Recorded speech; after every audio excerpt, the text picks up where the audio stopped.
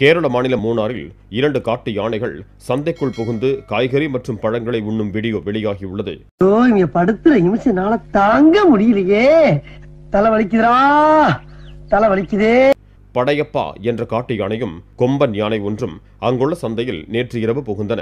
இரு யானைகளும் அங்கிருந்த கடையை உடைத்து காய்கறிகள் மற்றும் பழங்களை தும்பிக்கையால் எடுத்து தின்றன. இவ்வளவுதானா சோறு? இவ்வளவுதானாவா? இத எங்க இருந்து புடிச்சிட்டு வந்தானுங்க?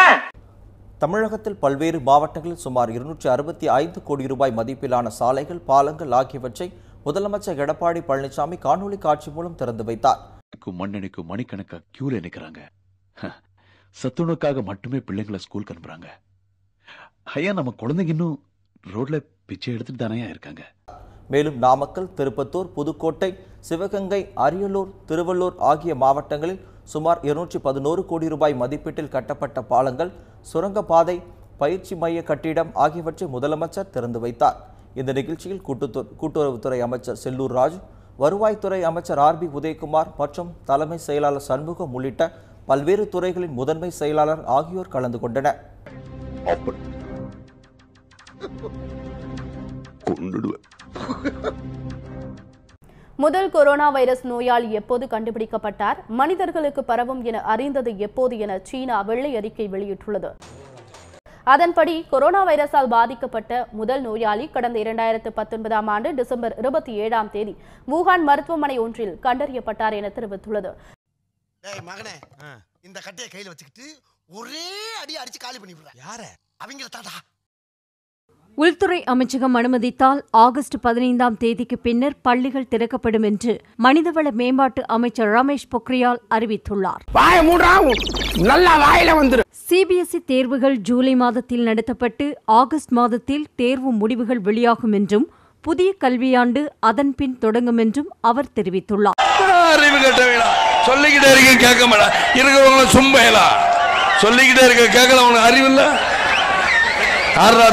தனியார் செய்தி சேனலுக்கு பேட்டியளித்த அமைச்சர் ரமேஷ் பொக்ரியால் பள்ளி வகுப்பு நேரங்கள் மாற்றியமைத்தல் மாணவர்களின் வருகையை குறைத்தல் சமூக இடைவெளியை கடைபிடித்தல் உள்ளிட்ட புதிய நடைமுறைகளை பள்ளிகளில் அமல்படுத்துவது குறித்து பரிசீலித்து வருவதாகவும் அவர் தெரிவித்துள்ளார்.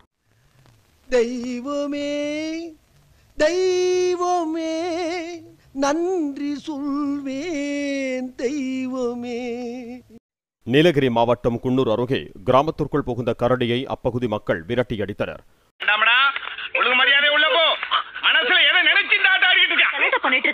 ஒவ்வொரு நாளும் இந்த அனுபவத்துக்குள்ள பெரும் பிரச்சனையா போயிடுது.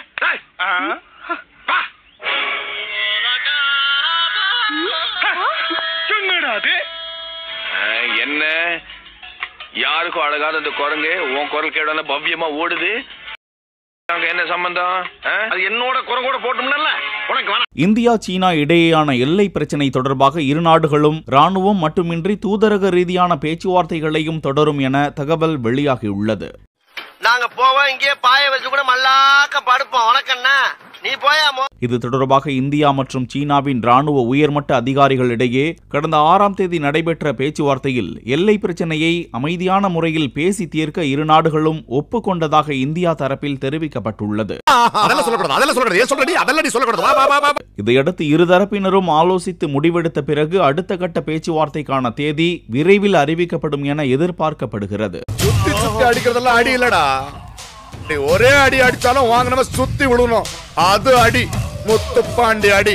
இவனை தூக்கி போடுங்கடா. அசாம் மாநிலம் கவுஹாத்தி அருகே காட்டப்பரி பகுதியில் ஒரு சிறுத்தையை மிருகத்தனமாக அடித்து கொலை செய்த சிறுவன் உட்பட ஆறு பேரை போலீசார் கைது செய்துள்ளனர்.